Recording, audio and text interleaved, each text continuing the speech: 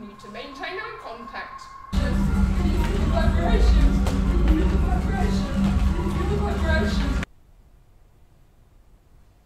I've been switched on. I've been activated as a cyborg. I'm released into the outside world.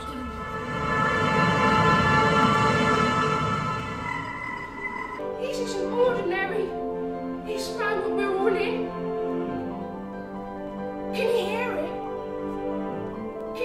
Music we're making down here together on the underground?